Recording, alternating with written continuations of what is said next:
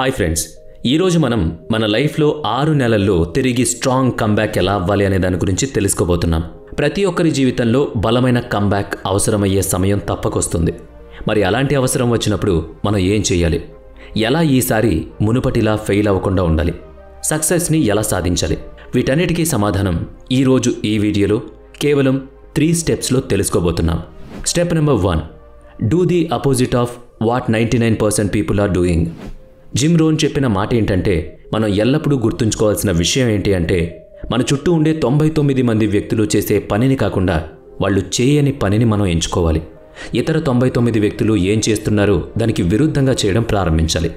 మీరు మీ జీవితంలో ఇంకా పెద్దగా ఏం సాధించలేదని మీరు విశ్వసిస్తే మీరు కలిగి ఉన్న అన్ని కలలు మరియు లక్ష్యాలు ఎప్పటికీ సంపూర్ణంగా ఉన్నాయని అర్థం. మీ లక్ష్యాన్ని నెరవేర్చుకోవడానికి మీ జీవితాన్ని మీరు మార్చుకోగలరా?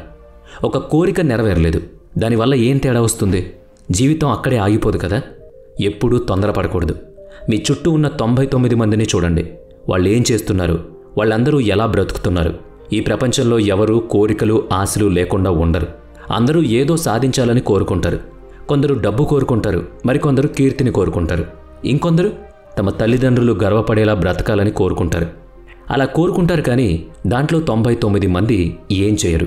అదెందుకో నాకు తెలీదు. ఈ ప్రపంచంలో ఒకరిని దూషించేవారు మన పక్కనే తిరుగుతూ ఉంటారు. కొంతమంది ఆ దూషణలను వింటూ తమ విశ్వాసాన్ని కోల్పోతారు. వీళ్ళు ఆ తొంభై తొమ్మిది మంది లెక్కలోకే వస్తారు.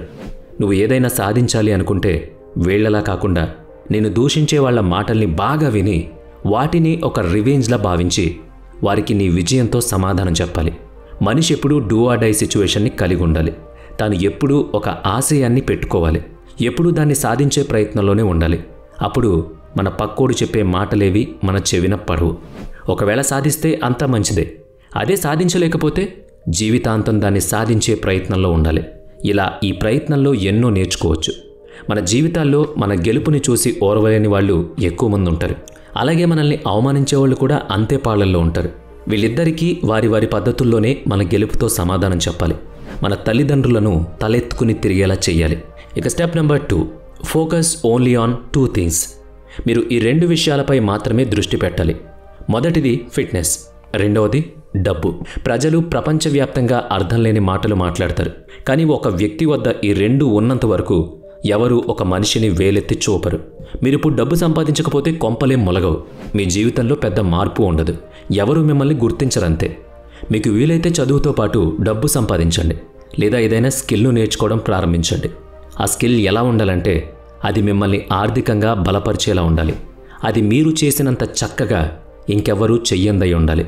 అలాగే మీరు శారీరకంగా కూడా దృఢంగా ఉన్నప్పుడు మీ ఆత్మవిశ్వాసం పెరుగుతుంది. దీంతోపాటు మీ జీవితం సమతుల్యంగా మంచి సంబంధాలు కలిగి ఉంటుంది. మీ కంబ్యాక్ సాధ్యమవుతుందా లేదా అనేది ఇప్పుడు ఈ వీడియో యొక్క అతి ముఖ్యమైన భాగం కదా? పదండి తెలుసుకుందాం. మీరు మీ జీవితాన్ని మార్చుకోవాలని ఆలోచించే సందర్భాలు ఖచ్చితంగా ఉంటాయి. అప్పుడు మీరు కూడా మిగిలిన వ్యక్తుల మాదిరిగానే ఆలోచిస్తూ ఉంటారు. మీరు మీ జీవితాన్ని మార్చుకోవాలని ఆలోచించడం ఇది మొదటిసారి కాదు కదా. అయితే ఈ ఐదు దశల కారణంగా ఈసారి ఖచ్చితంగా నెరవేరుతుంది. మొదటి దశ అన్ఇన్ఫార్మ్డ్ ఆప్టమిజం ఈ ఫేజ్లో నేను పలానా పని చేస్తాను అని నేను ఇది తప్పకుండా చేయగలను అని ప్రతిదీ సాధ్యమేనని అనిపించడం ప్రారంభిస్తుంది. ఆ ప్రయత్నంలో మొదటి చర్య తీసుకున్నప్పుడు మీరు వెంటనే అసౌకర్యంగా ఫీల్ అవుతారు. అలాంటి సమయంలో మీరు రెండో ఫేజ్లోకి చేరుకుంటారు. రెండో ఫేజ్ ఇన్ఫార్మేడ్ పెసిమిజం. ఈ ఫేజ్లో మీరు అనుకున్నది అంత సులభం కాదని అర్థం చేసుకుంటారు. మీ మనసుపై చర్య తీసుకుంటారు. మీరు శారీరకంగానూ మానసికంగానూ ఇబ్బంది పడడం వంటివి జరుగుతాయి. కానీ మీరు మీ సంకల్ప శక్తితో ముందుకు సాగుతూ ఈ బాధలను భయాన్ని వదిలిపెట్టేస్తే ఇంకొక అడుగు ముందుకు పడుతుంది. అది మూడవ దశ వ్యాలీ ఆఫ్ డిస్పైర్ తొంభై తొమ్మిది శాతం మంది ప్రజలు తమ ప్రయత్నాలను విడిచిపెట్టే పాయింట్ ఇదే. ఇక్కడితో విడిచిపెట్టిన వారికి క్రమశిక్షణ అనేది జీవితంలో రాదు. వాళ్ళు జీవితంలో ఏది కూడా చేయలేరు. ఈ ఫేజ్లో మానసిక నిబ్బరం చాలా అవసరం. మీరు మీ పాత తేలికైన మరియు సౌకర్యవంతమైన ఆనందాల్ని జీవితాల్ని ఈ పాయింట్లో వదులుకోవాల్సి వస్తుంది. అంటే కంఫర్ట్ జోన్ నుంచి బయటకు వచ్చేయాల్సి వస్తుంది. మరి ఇంతటి కష్టమైన ఫేజ్ని కూడా దాటి నిలబడిన వాళ్ళు ఎంతటి సమర్థులై ఉంటారు? మీరే ఊహించండి. వాళ్ళు అలా నిలబడ్డానికి కారణం ఏంటి అంటే వాళ్ళు ఈ కష్టానికి వెనుక ఉన్న రీజన్ దాని వెనుక ఉండే విజయం. దాని వెనుక ఉండే సక్సెస్ దాని వెనుక ఉండే గొప్ప ప్రతిఫలం. ఇక నాలుగవ దశ ఇన్ఫార్మ్డ్ ఆప్టిమిజం. ఇక్కడ మీ ప్రారంభం ఆశావాదం మరియు సానుకూలంగా తిరిగి వస్తుంది. కానీ ఈసారి అది ఎవరో చెప్పడం వల్ల కాదు. మీకు మీరే ఫీల్ అవుతారు. ఈ దశలో మీ సొంత కృషి మరియు పోరాటం కారణంగా మీ కళ నెరవేరేందుకు మార్గం సుగమం అవుతుంది మీరు మీ గురించి గర్వపడతారు. మీరు చాలా స్పష్టంగా ఫలితాలను చూడడం ప్రారంభిస్తారు. అలాగే ముందుకు సాగుతూ ఫిఫ్త్ ఫేజ్లోకి అడుగు పెడతారు. ఐదవ దశ సక్సెస్ అండ్ ఫుల్ఫిల్మెంట్. మీ లక్ష్యాలన్నీ నెరవేరే తరుణమే ఈ ఐదవ ఫేజ్. మీరు విజయం సాధించే మార్గంలో ప్రతి బాధ యొక్క ఫలితం ఇప్పుడు మీకు అందుతుంది. మీరు గమనించుంటే ప్రజలు ఎప్పుడూ మీకు ఫలితాల గురించి చెబుతారు. కానీ దానికి సంబంధించిన మార్గం గురించి మాత్రం ఎవ్వరూ మాట్లాడరు. సహజంగా మీరు మీ ప్రయత్నంలో మొదటి దెబ్బ తిన్నప్పుడు అందరూ కూడా నవ్వుతారు ఎగతాళి చేస్తారు. కానీ ఈ మార్గమంతా బాధ్యతతో మీరు నడుచుకున్నప్పుడే మీ భవిష్యత్తులో ఎక్కడ ఉంటారో మీకు తెలుస్తుంది. సరైన ఫలాలు మీకు అందుతాయి. కాబట్టి ఈ ఒక్క ఫేజ్ గడిచిపోతే ఇంకా అన్ని మంచి రోజులైన నమ్మకంతో జీవించాలి.